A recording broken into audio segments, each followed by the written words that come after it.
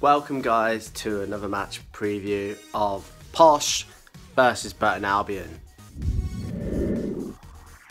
So the unthinkable has happened. We've made it to the last game of the season, everything to play for for the playoffs, the last playoff position. If we win on Saturday, 5.30pm kickoff, we go up depending if Doncaster draw or lose. If Doncaster win and we win, we're not go up unless we get 16 goals past Burton Albion, which is not going to happen. Now, so my starting lineup, actually no, my score, my score first.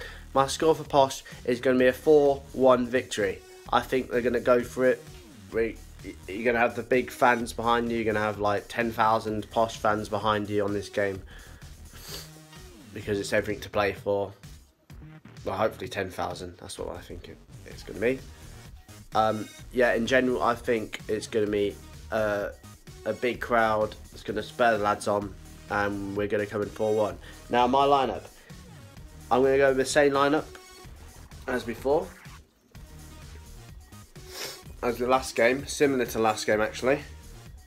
So I'm going to 4 4 2 sort of lineup like I said last time with the two defensive midfielders in the in the thing.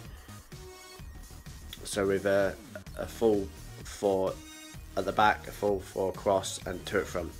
Now my starting lineup for the posh on Saturday will be in goal number one. Oh, I don't do, numbers actually. Four four two Chapman in goal. Naismith at right back. Josh White at centre back. Ryan Tafazolli if he's if he's hundred percent feeling fit. Now he had almost was in pain with his knee injury apparently last night. Um, if he's injured, I'll put Bennett on the uh, centre back position. If not, Tafazolli is going to be there. Right. Next to Tafazolli and White at left back, Lafferty. Left wing, I'm going to put Dembele there. I think I think Dembele Dembele had a good game when he came on last night. Ward did really well as well, but I'm going to swap positions. So Ward's going to come on the bench, and Dembele is going to swap with him from the bench to the starting lineup on the left wing. Next to him, Alex Woodyard, the captain. Next to him in the midfield, Josh Knight. Played really well last night. The fact that all the players played really well last night. Um, next on the right wing, of course, the magic man Marcus Maddison. three assists against Portsmouth. What can he do? He's, he's bound to get a move in the way in the summer, though. That's the only thing I'm worried about. But at the moment, he's our player. So he's going on the right wing. And up front, I'm going to put Lee Tomlin and Ivan Toney. Ivan Toney and Lee Tomlin worked really well last night and both scored. Yeah, Tomlin got one and Toney got two. On the bench, Conor O'Malley, uh, Bennett if he's if Tafazolli's free. If not, then swap the other way around maybe. Denton, who's not been used. Uh, Callum Cooke, Joe Ward, Matt Godden, Harrison Burrows. That's the guy I was on about the other day, the 16 year old guy. Harrison Burrows.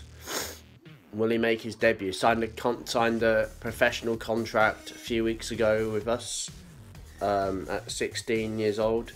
Good player. McCann liked him for Don when he was also Doncaster might make a bid for him in the summer. Any Doncaster fans are watching this. Anyway, that's my end of the video, and I'll see you in the next video after maybe for a match reaction, maybe not.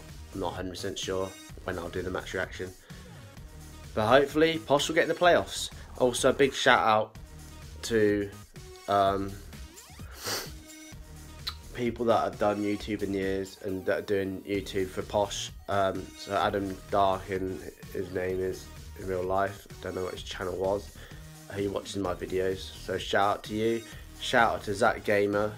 Um, he does videos in the family stand. Shout out to Devon Walwyn who did the London Marathon. Shout out to um, yeah, Callum Dolby and Carl PSC. Everyone that does vlogs, I love the vlogs. So anyone else you recommend shouting out next time, then drop in the comments. Alright, bye guys.